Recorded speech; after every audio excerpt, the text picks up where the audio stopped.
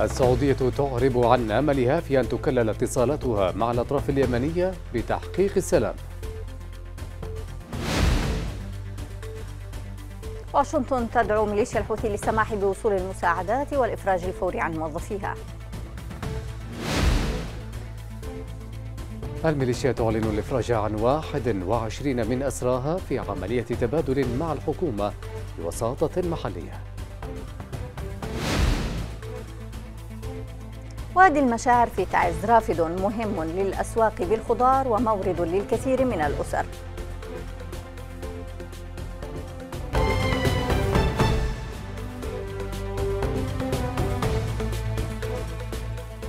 أهلا بكم إلى نشرة الخامسة من قناة بلقيس معكم هشام الزيادي وأسيا ثابت.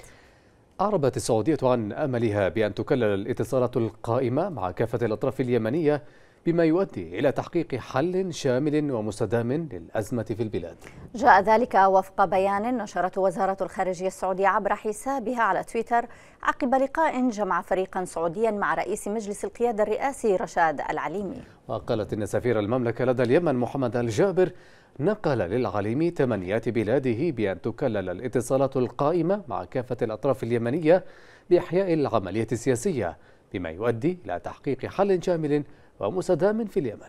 وأشارت إلى أن السفير آل جابر أطلع رئيس مجلس القيادة وأعضاءه على نتائج على نتائج زيارته إلى صنعاء ونقاشاته مع الحوثيين بمشاركة وفد من سلطنة عمان وما رافق من أجواء إيجابية حد وصفه.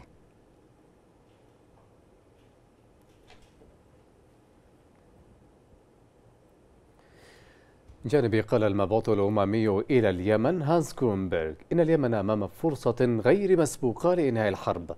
داعيا أطراف النزاع إلى اتخاذ خطوات جريئة نحو السلام وأوضح في إحاطة أمام مجلس الأمن الدولي أن عددا من عناصر الهدنة ما زالت تنفذ رغم انقضائها مشيرا إلى تدفق سفن الوقود والواردات عبر ميناء الحديدة إضافة إلى استمرار الرحلات الجوية بين مطار صنعاء وعمان.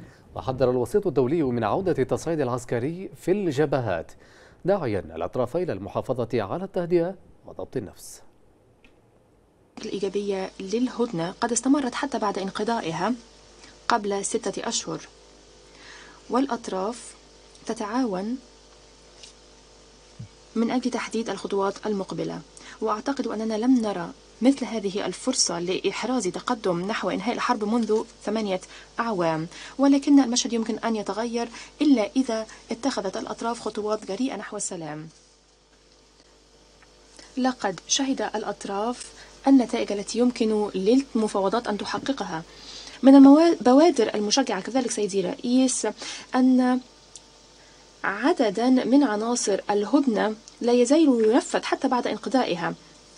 تمر اليمن الآن أو يمر اليمن الآن بفترة هي الأطول فترة هدوء نسبي هي الأطول خلال هذه الحرب الشرسة. عمليات تدفق السفن التي تحمل الأغذية والوقود والمواد التجارية الأخرى إلى ميناء الحديدة تستمر والرحلات التجارية تستمر كذلك بين مطاري عمان وصنعاء ولكن هذا ليس كافيا. فالكثير من المدنيين يواجهون الكثير من المشاق يوميا والتطورات الأخيرة تذكرنا بأن التصعيد يمكن أن يهدر المكاسب التي تحققت بشكل الأنفس. في سياق آخر عبرت واشنطن عن قلقها إزاء القيود المفروضة من قبل ميليشيا الحوثي على وصول المساعدات الإنسانية. وقال نائب ممثل واشنطن في الأمم المتحدة بالإنابة السفير جيفري دي لورنس إن الحوثيين يتدخلون في التقييمات المستقلة وعمليات التعاقد والمناقصات ويقيدون حرية حركة المرأة. مؤكدا ضرورة وضع حد لهذا التدخل لأنه يعيق إيصال المساعدات إلى أكثر الفئات ضعفا في اليمن. ودعت ميليشيا الحوثي إلى إطلاق سراح موظفي السفارة الأمريكية المحتجزين المحتجزين قسرا منذ 18 شهرا فورا وبدون أي شروط. احتفاء سعودي أمل أممي وقلق أمريكي. هذا ما يبدو عليه مشهد اليمن إقليميا ودوليا. فالسفير السعودي لدى اليمن محمد الجابر عاد من صنعاء بعد جولة مباحثات عقدها مع الحوثيين لم تعلن المملكة عن تفاصيلها. وحال وصوله الرياض أطلع الجابر مجلس القيادة اليمني على طبيعة النقاشات السعودية مع الحوثيين وفق بيان الخارجية السعودية الذي أعربت فيه المملكة عن أملها بأن تؤدي الجهود إلى تحقيق حل شامل ومستدام للأزمة اليمنية. كانت السعودية قد أوفدت إلى صنعاء فريقا رسميا برئاسة سفيرها محمد الجابر لمناقشة خطة سلام تتضمن هدنة لمدة ثلاثة أشهر تليها مفاوضات ثم مرحلة انتقالية لمدة سنتين بحسب صحف دولية إلا أن المناقشات السعودية الحوثية التي وصفت بالإيجابية لم تتضح نتائجها النهائية بعد. الولايات المتحدة الأمريكية ورغم تأييدها للتقارب السعودي الحوثي إلا أنها بدت قلقة على الوضع الإنساني حيث اعترضت على القيود التي تفرضها ميليشيا الحوثي أمام وصول المساعدات الإنسانية. وأكدت واشنطن على لسان نائب ممثلها في الأمم المتحدة ضرورة وضع حد لتدخلات الحوثيين الضارة بالفئات الأكثر ضعفا في اليمن. الأمم المتحدة ظهرت سعيدة بمسار التقارب السعودي الحوثي وقال مبعوثها لدى اليمن جروندبرغ إن اليمن أمام فرصة غير مسبوقة لإنهاء الحرب. وأوضح خلال إحاطته لمجلس الأمن أن بنود الهدنة مستمرة رغم انقضاء مدتها داعيا الأطراف اليمنية لاتخاذ ما وصفها بالخطوات الجريئة باتجاه السلام. بالنسبة لليمنيين فإن ما يجري تنفيذ لخطة إقليمية دولية أضحت فيها اليمن مجالا لتقاسم النفوذ الأجنبي باسم سلام السلام الذي تحصد نتائج الميليشيات. أعلنت وزارة الخارجية الإيرانية أنه حسب الاتفاق مع السعودية فإن البلدين سيعيدان فتح سفارتيهما في موعد أقصاه التاسعة من الشهر المقبل. وقال المتحدث باسم الخارجية الإيرانية ناصر كنعاني أن الرئيس الإيراني إبراهيم رئيسي وجه دعوة للعاهل السعودي الملك سلمان بن عبد العزيز لزيارة طهران بعد تلقيه دعوة من الأخير لزيارة الرياض. وبين تفاهمات السعودية وإيران ومشاورة صنعاء تقف الحكومة الشرعية عاجزة دون موقف ولا تملك سوى مباركة الجهود السعودية لإحلال السلام. أعربت طهران عن أملها في إعادة فتح بعثاتها الدبلوماسية في الرياض بحلول التاسع من مايو القادم وفق الاتفاق المبرم بين البلدين. يأتي هذا التصريح في ظل تبادل دعوات وفود بين الرياض وطهران في إطار حراك إيراني سعودي في المنطقة لرسم خارطة السلام بين أقوى دولتين في الإقليم. كان المتحدث باسم وزارة الخارجية الإيرانية ناصر كنعاني صرح في وقت سابق بأن إيران وجهت الدعوة إلى ملك السعودية لزيارتها. هرولت السعودية لإنجاز سلام لحظي. يتجاوز طهران فذهب وزير خارجيتها إلى سوريا حاملا معه دعوة رسمية لبشار الأسد وذهب سفيرها لدى اليمن على رأس وفد سعودي لصنعاء للقاء قيادات ميليشيا الحوثي. خرج السعوديون بآمال ضئيلة في حلحلة ما وصفتها الميليشيا بالقضايا العالقة بعد عيد الفطر لإتمام التفاهمات بين الطرفين تمضي السعودية في سعي محموم لتصفير مشاكلها في المنطقة وإعادة ترتيب علاقاتها المقطوعة وتطبيعها مع إيران وأدواتها في المنطقة منها نظام سوريا وميليشيا الحوثي بمقابل كل هذا يذهب رئيس مجلس القيادة وأعضاؤه لتأكيد دعمهم لأهداف السعودية في اليمن وهل بيدهم غير ذلك؟ فالمجلس الذي جاء كمحصلة لإرادة الرياض وبعد إخفاقه أمام التحديات التي واجهته خلال عام منذ تشكيله يبدو أضعف من اتخاذ أي موقف وطرح أي شروط تفاوضية أمام قرار السعودية بل ولم يعد بيده إلا مباركة جهود المملكة كعادته. يبدو السلام بعيدا عن اليمنيين فإذا كان السلام السعودي الإيراني سيحمي الرياض من صواريخ ومسيرات الحوثي فمن سيحمي اليمنيين من تصعيد الميليشيا؟ أعلنت اللجنة الدولية للصليب الأحمر أنها يسرت نقل 104 محتجزين من مطار أبها إلى مطاري صنعاء وعدن في مبادرة سعودية أحادية الجانب.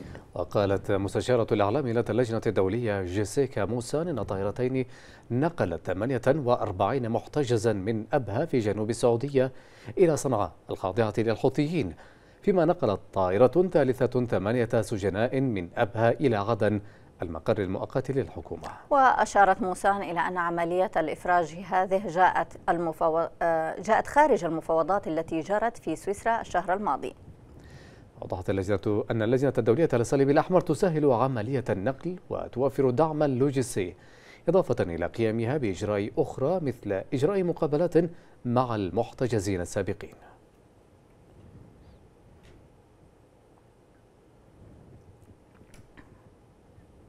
رحبت منظمة العفو الدولية بالإفراج عن أربعة صحفيين مختطفين لدى ميليشيا الحوثي منذ ثمان سنوات. وأكدت المنظمة أنه ما كان ينبغي على الميليشيا احتجازهم في المقام الأول مطالبة بإطلاق كافة المحتجزين. وأضافت في بيان مقتضب نشرته على حسابها في تويتر أن الصحفيين حكم عليهم بالإعدام بعد محاكمة بالغة الجور كما عانوا من انتهاكات مروعة بما في ذلك الإخفاء القسري والاحتجاز التعسفي والحرمان من الرعاية الطبية والحبس الانفرادي والتعذيب. واستقبلت مأرب الأحد الماضي الصحفيين المختطفين الأربعة وذلك ضمن صفقة تبادل الأسرى والمختطفين بين الحكومة وميليشيا الحوثي.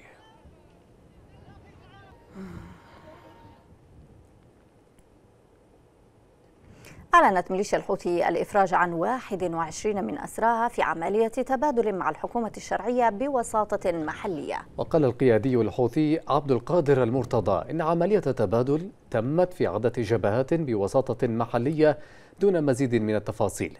فيما لم يصدر تعليق فوري من قبل الحكومة حول عملية التبادل. وفي وقت سابق يوم الاثنين كشف مسؤول أو مسؤول ملف الأسرى والمعتقلين في المنطقة العسكرية السادسة العقيد يحيى الحاسل للأناضول أنه تم تحرير سبعة أسرى من جنود الجيش الوطني مقابل سبعة من الميليشيا. الحاسر كشف عن ترتيبات جديدة لإبرام صفقة قادمة والإفراج عن عدد من الأسرى بين الطرفين.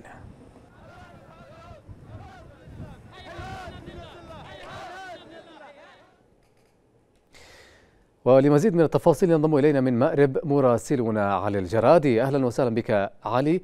ما زلنا في زخم تبادل الأسرى والمختطفين بين الحكومة والحوثيين وأيضا السعودية والسودان وما إلى ذلك. الآن هذا الخبر المتعلق بالإفراج عن أسرى بين طرفي الحكومة والحوثيين في الجوف. ومأرب هل من تفاصيل يمكنك أن تطلعنا عليها علي؟ هشام هذه الصفقة ليست صفقة رسمية إنما أي تشرف عليها الحكومة الشرعية تحديدا ولجنة التفاوض مع الحوثيين. إنما هي صفقة محلية قبلية عادة ما كانت تحدث هذه الصفقات طوال السنوات الخمس الماضية. آه تقريبا في المنطقة العسكرية السادسة وفي الجوف تحديدا أكثر من 600 أسير تم الإفراج عنهم خلال الخمس سنوات الماضية بصفقات قبلية. أو أو بوساطات قبلية افرجت أفرج فيها عن العشرات بل المئات من اسر الجيش من الطرفين طبعا. اليوم نحن أمام صفقة قبلية نفذها نفذتها شخصيات قبلية في الجوف أفرج فيها عن 14 اسيرا من الطرفين، سبعة أشخاص من عناصر الجيش الوطني في المنطقة العسكرية السادسة يقابلهم سبعة أشخاص من عناصر ميليشيا الحوثي أيضا الذين كانوا آه، يقاتلون في جبهات الجوف خلال الفترات الماضية وتم أسرهم في إحدى المعارك. آه، مسؤول ملف الاسرى في المنطقة السادسة تحدث لنا وقال بأن هذه الصفقة آه، ليست الأولى ولكن سبقتها الكثير من الصفقات في الاعوام الماضية وهم بصدد استكمال بقية الاسرى الذين ما يزالوا في إطار أو في سجون ميليشيا الحوثي وأن هناك صفقات ستلي هذه الصفقة خلال الأيام القادمة والاشهر القادمة. سيكون هناك صفقات قادمة بإذن الله من عبر وساطات قبلية وعبر وساطات محلية خارج إطار الاتفاقيات والمفاوضات التي تشرف عليها أو ترعاها الأمم المتحدة آه، بحضور التحالف والحكومة الشرعية والحوثيين أيضا. اذا الصفقات متعلقة فقط بمحافظة الجوف علي؟ هذه الصفقات عناصر الذي يتم العناصر الذين يتم الإفراج عنهم هم ليسوا شريطة أن يكونوا من ابناء محافظة الجوف لا. إنما هم عناصر تابعين للجيش الوطني آه، من عدة محافظات منهم من تعز منهم من ريمة أيضا هناك أشخاص من حجة من دمار من من, من مختلف المحافظات. ولكن من لا أقصد يعني في جبهات الجوف بالتأكيد. أنا هم مشائخ وقبائل من أبناء الجوف. نعم بالتأكيد أن المقاتلين وأيضا الجنود من مختلف المحافظات لكن هل هي متعلقة فقط بالمنطقة العسكرية السادسة ونطاق محافظة الجوف؟ في الحقيقة نعم. هذه هذه الصفقة هي متعلقة بالإطار إطار آه، النطاق مع المنطقة العسكرية السادسة والتي آه، يعني يتواجد فيها الجيش الوطني في عدة محاور سواء من الريان من اليتمه وصولا إلى آه، إلى إلى محاذاة الكساره وهذه المناطق كلها وقبل ذلك كان هناك تواجد في الجبهة الجنوبية من مارب، كان هناك وجود عناصر للمنطقة الثالثة في هذه المناطق. الاجمالا اجمالا ما اريد أن اشير بأنه هؤلاء الذين يتم الإفراج عنهم هو من خلال خطط قبلية تجريها عناصر قبلية في محافظة الجوف وفي ضمن نطاق المنطقة السادسة يتم الإفراج فيها عن المئات والعشرات من أسرى الجيش الوطني الذين اسرتهم ميليشيا الحوثي بالمقابل يتم الإفراج أيضا عن أسرى جماعة الحوثي الذين يتواجدون في سجون الشرعية. شكرا جزيلا لك مراسلنا من مأرب الزميل علي الجرادي.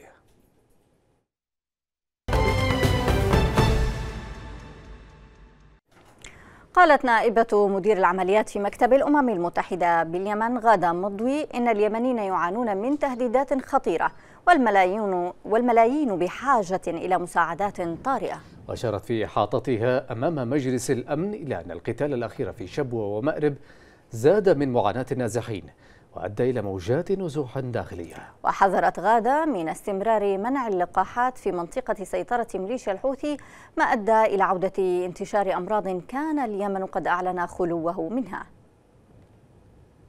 فاليمنيون يعانون من تهديدات إنسانية خطيرة. في أنحاء البلاد 21 مليون شخص يحتاجون إلى مساعدة طارئة. والأحداث الأخيرة قد زادت من المشاق الإنسانية. فالأمطار هطول الأمطار قد أثر على مائة ألف شخص وتأثيرها على الوضع الإنساني كان محدودا ولكن يمكن للظواهر الجوية أن تسوء وأن تؤثر سلبا على الوضع الإنساني. لم يزداد القتال ولكن الاشتباكات التي اشتدت حدتها في مأرب وشبوة قد أتت إلى نزوح 10000 شخص منذ بداية مارس. الأمراض التي يمكن تجنبها مثل الحصبة وشلل الأطفال تنتشر بوتيرة خطيرة وهي تعرض حياة الصغار للخطر. نحن نخشى أن عملية اندلاع هذه الأمراض يمكن أن تسوء خاصة في المناطق التي يسرت عليها الحال في غضون ذلك كشف تقرير أممي عن ارتفاع الإصابات بمرض الحصبة في اليمن إلى أكثر من تسعة آلاف إصابة بينها 77 وفاة من الأطفال منذ مطلع العام الجاري. وحذر مكتب تنسيق الشؤون الإنسانية في أحدث تقرير له من أن الإصابات بالديفتيريا والسعال الديكي آخذة في الارتفاع فضلا عن زيادة عدد الوفيات الناجمة عن كل مرض. أضاف أن التحديات التي تواجه حملات التحصين خاصة في مناطق الحوثيين تسببت في استمرار انتشار حالات الإصابة بالأمراض المتفشية التي يمكن الوقاية منها. وأشار إلى أن حملة المعلومات المضللة التي تنفذها الميليشيا ضد اللقاحات وبدافع عدواني كان لها تأثير سلبي في مناطق سيطرتها بل وصل تأثيرها إلى المحافظات الجنوبية.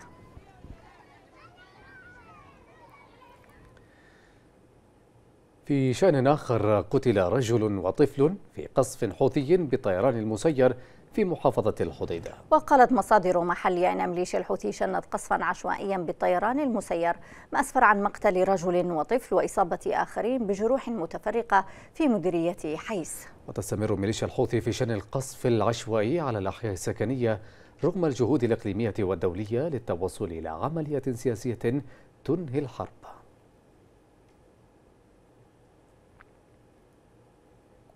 أقدمت عصابة مسلحة على نهب سيارة أحد المستثمرين في محافظة إب. مصادر محلية قالت إن أفراد عصابة مسلحة يرتدون أقنعة نهبوا بقوة السلاح سيارة أحمد الحطامي من أمام منزله حيث كان يقودها نجله فأجبروه على النزول منها دون معرفة ملابساته وأسباب الحادثة.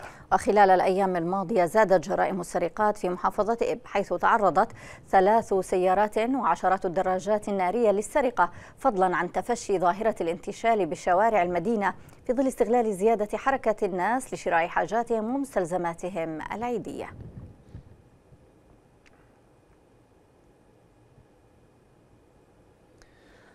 دعا مصدر محلي في محافظة تعز القائمين على مشروع تعز التربة إلى سرعة إنجاز مشروع الطريق.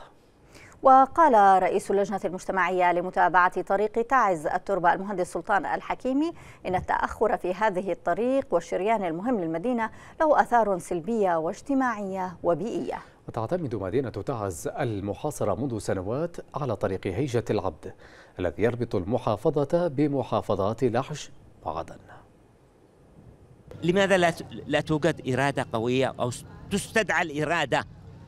هذه عدم عدم الاهتمام بهذه الطريقة وغيرها هو إهمال لمعنى التنمية لمعنى المعنى الاجتماعي لأبناء اليمن.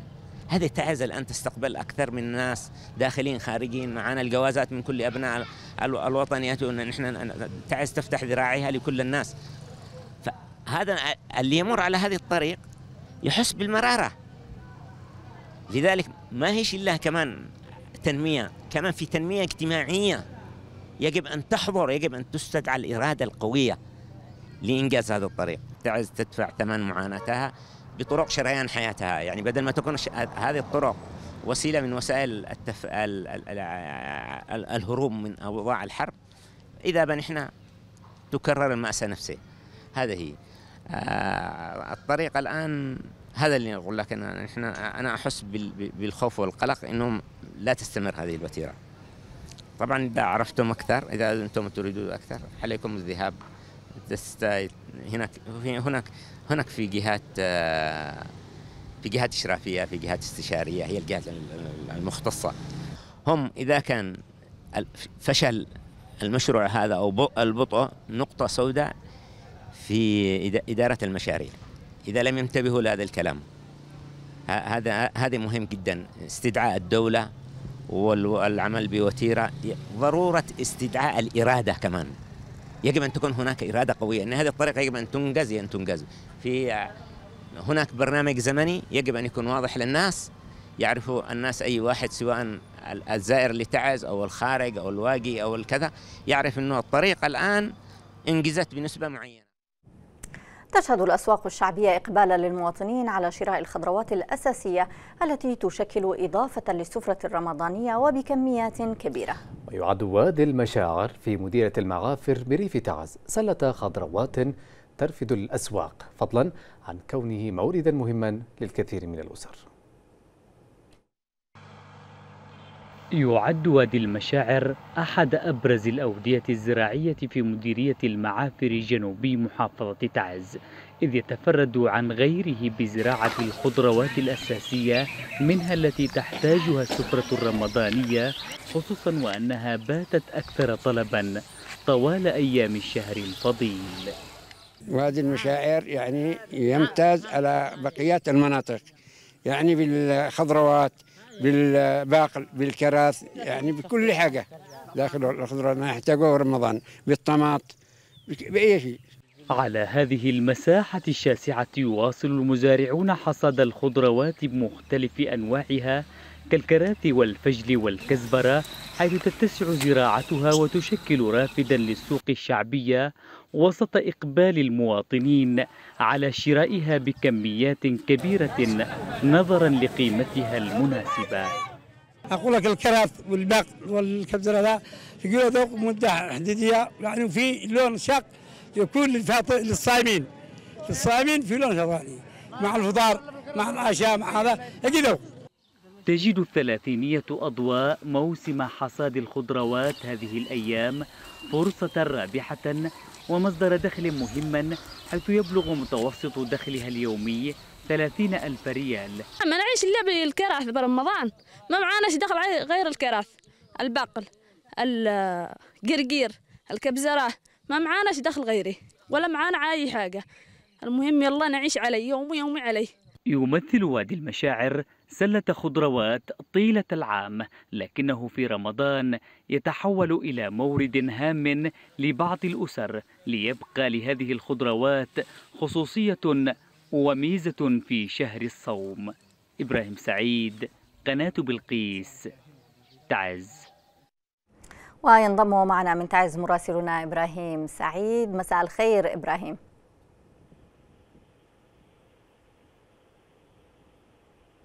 إبراهيم تسمعني؟ نعم. أهلا بك. إبراهيم دعني أسألك سؤال يعني آه لفت انتباهي اسم الوادي نعم وادي نعم المشاعر. نعم نعم. نعم وادي المشاعر من أين جاءت التسمية قبل أن نتحدث عن هذا الوادي؟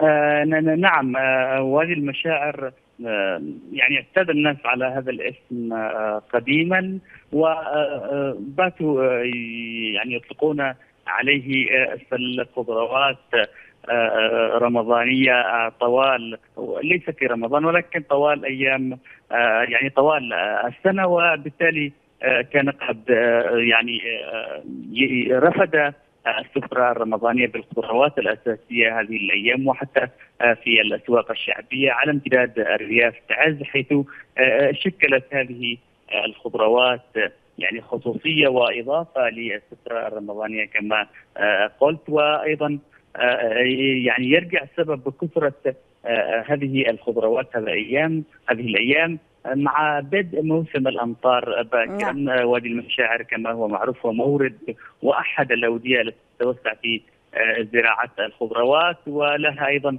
ميزة خاصة عند الكثيرين منها آه، كما آه، ذكرت في التقرير الكراث والكزبرة والعديد من الخضروات.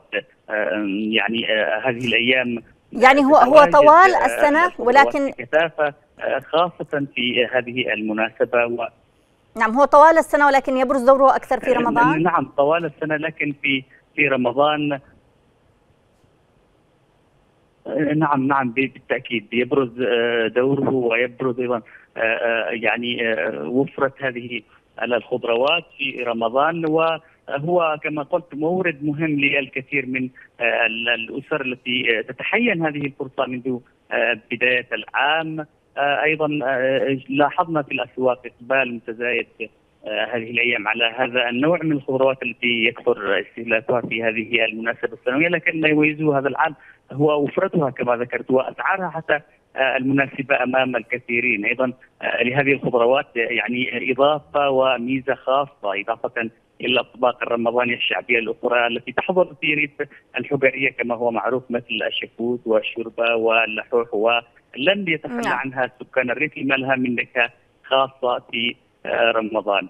آه، نعم إذا نعم. إذا ما تحدثنا عن الأوضاع فقد آه، مضى شهر رمضان هذا العام يعني وأثقل كاهل الكثير خاصة مع موجة الغلاء. نتحدث اليوم عن عجز أغلب الأسر في توفير أبسط المتطلبات الأساسية حالة سخط شعبي خاصة وأن السكان يعيشوا أوضاع صعبة مع قدوم العيد وغلاء الملابس. الرقابة هي أيضا آه، تنعدم تماما خصوصا مع تلاعب التجار. نعم.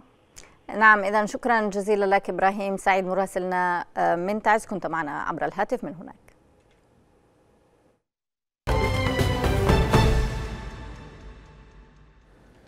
أعلن برنامج الغذاء العالمي وصول سفينة محملة بالقمح الأوكراني المخصص لتقديم المساعدات الإنسانية في اليمن. وقال البرنامج في بيان إن السفينة رست في ميناء الصليب بالحديدة وعلى متنها 30 ألف طن متري من حبوب القمح لدعم المساعدات الإنسانية في اليمن. أضاف البيان أن هذه الشحنة ستساعد البرنامج على معالجة الفجوات الفورية في المساعدة خاصة في ظل قيود تمويل التي يواجهها. وأشار البيان إلى أن الاحتياج الفعلي في اليمن يقدر بقرابة 85 ألف طن من القمح شهريا وأن البرنامج يعتمد على دعم المانحين المستمر لمنح لمنع حدوث المجاعة.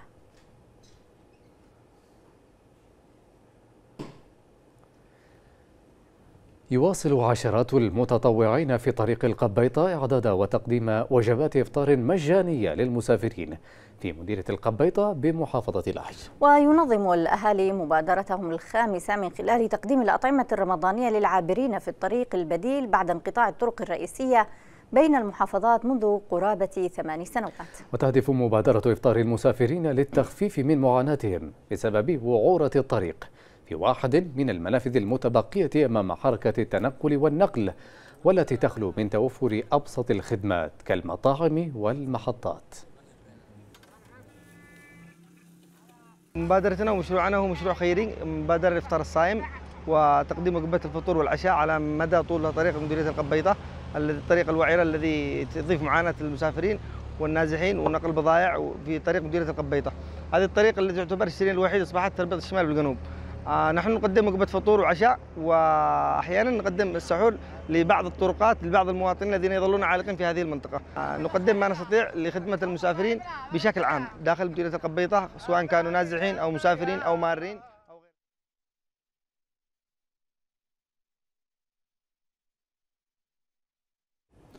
نظم فنان حضرموت بقاعة نادي متطوعون في المكلا فعالية الإفطار السنوي والأمسية الرمضانية. شارك في الأمسية التي أقيمت بدعم من حزب الإصلاح الكثير من المبدعي الوسط الفني والمهتمين بالشأن الثقافي وعدد من الشخصيات الاجتماعية في المحافظات الشرقية.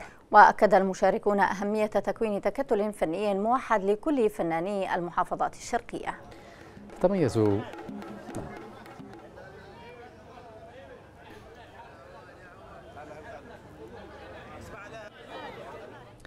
تتميز محافظة حضرموت عن بقية المحافظات اليمنية الأخرى بعادة الختام الرمضانية. وتتضمن فعاليات دينية فعاليات دينية وثقافية واجتماعية وفنية. إلى جانب كونها تسهم في خلق مناخ مناسب لتوفير فرص عمل للكثير من الشباب. التفاصيل في سياق التقرير التالي. يحرص الكثير من الشباب على استغلال مناسبة الختائم طلبا لكسب الرزق طوال أيام شهر رمضان. في محافظة حضرموت. هنا في ساحة مسجد بحر النور بمدينة المكلا وجد الشاب هاشم بابحر فرصة سانحة لبيع ألعاب الأطفال في بسطته الصغيرة. ودأب على ذلك منذ ما يزيد عن عشر سنوات باعتباره مصدرا للدخل يعينه على توفير متطلبات أسرته في شهر رمضان ومناسبة العيد. أنا من ضمن الناس اللي تشتغل في الختم اللي هي تقريبا أكثر من عشر سنوات. والختم يعتبر مصدر رزق لنا. وفر لنا يعني جميع احتياجات العيد. و يعني من أهم الأشغال اللي يعني في تكون في رمضان شغل الختائم تعج الأروقة والساحات المحيطة بالمساجد في المكلا بالكبار والصغار طيلة رمضان احتفاء بفعاليات الختائم حيث يحييها الأهالي في كل حي على حدة كمظهر من مظاهر الاحتفال بختم القرآن في المسجد. وتعتبر من العادات القديمة التي توارثتها الأجيال. بالنسبة للختم نحن نفرح في هذا اليوم. الأطفال يفرحون نلبسهم ملابس جديدة نحتفل. سبحان الله يعني في روحانية. آه، بالنسبة للمسجد يكون في ختم قرآن وفي تكريم وفي روحانية جدا جميلة في هذا اليوم. الكل يفرح نجيب من مناطق ثانية تصير عزايم في البيوت. نخرج للأطفال يلعبون يفرحون يشوفون الألعاب ونشتري لهم يستمتعون. يعني نحن كأسر حتى نفرح بفرحتهم كأنه يوم عيد بالنسبة لنا. لا تخلو فعالية الختائم من الأهازيج والألعاب الشعبية القديمة. إذ تضيف أجواء فرايحية خصوصا لدى الأطفال كما تسهم في الحفاظ على الموروث الشعبي والحضاري للمحافظة. محمد عمر قناة بلقيس المكلا. وصلنا إياكم مشاهدينا إلى ختام النشرة. هذا تذكير بأهم العناوين السعودية تعرب عن أملها في أن تكلل اتصالاتها مع الأطراف اليمنية لتحقيق السلام.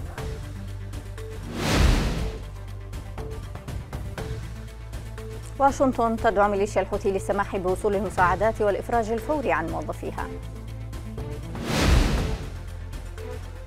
الميليشيا تعلن الإفراج عن 21 من أسراها في عملية تبادل مع الحكومة بوساطة محلية.